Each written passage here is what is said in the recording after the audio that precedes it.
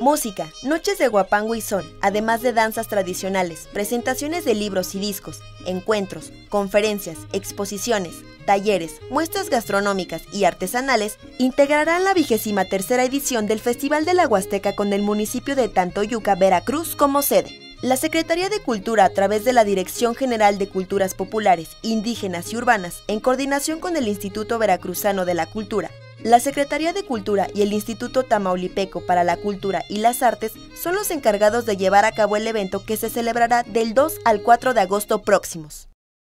Se dice fácil, pero el programa regional de la Huasteca estará cumpliendo 24 años. Y el festival será su 23 edición. Eso quiere decir que hace 22 años se inició el primer festival eh, que organizan estos cuatro, estos seis estados de la República en coordinación con la Federación.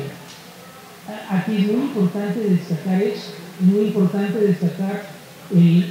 la conjunción de energías, de fuerzas de los tres niveles de gobierno para darle vida, no nada más al festival, sino a este programa eh, porque como yo decía, el Festival de la Huasteca es la cereza del pastel de un programa regional de la Huasteca que opera ininterrumpidamente desde hace 24 años. Estos festivales son generadores y detonadores de economía en las regiones y en los municipios en los que se llevan a cabo. Estos festivales permiten dar a conocer, divulgar toda esta riqueza y patrimonio cultural de nuestro país y generar turismo, un turismo distinto, un turismo, que busca las artesanías, que busca la gastronomía, que busca conocer la riqueza y la diversidad cultural de nuestro país. Por eso, para la Secretaría de Cultura, es un orgullo, es un honor trabajar en coordinación con estos seis estados, trabajar en coordinación con los municipios, ser impulsor de un proyecto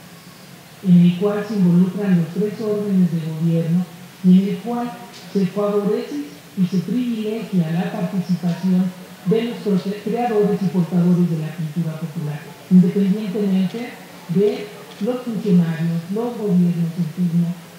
Aquí lo importante es que nuestro trabajo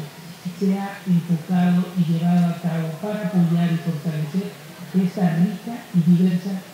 cultura popular e indígena que tiene nuestro país.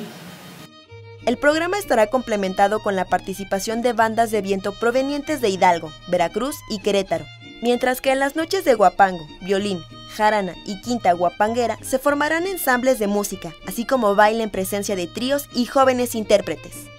Con información de Jimena Orozco e imágenes de Isaac Castruita, Notimex.